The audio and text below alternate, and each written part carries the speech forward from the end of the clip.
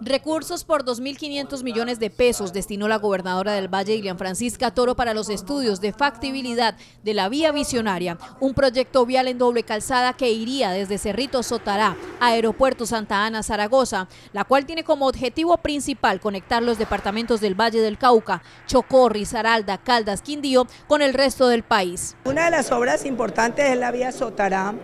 eh, eh, eh, Santa Ana, y pues allí nosotros la gobernación ya hemos puesto 2.500 millones de pesos para el estudio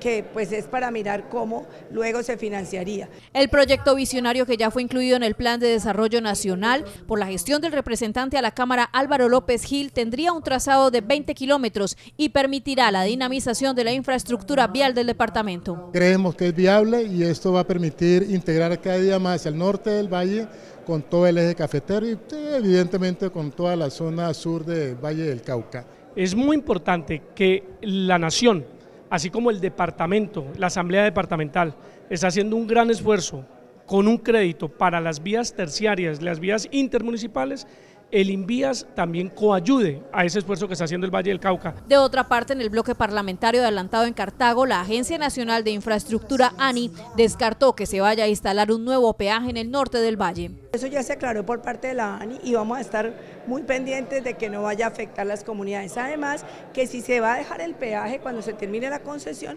pues sea para hacer obras para el Valle del Cauca. Dentro del bloque parlamentario se resaltó la labor de la gobernadora del Valle con la apertura del Hospital Departamental de Cartago y otras acciones de gobierno que han permitido que el norte del valle no sea más una zona apartada, sino integrada al departamento.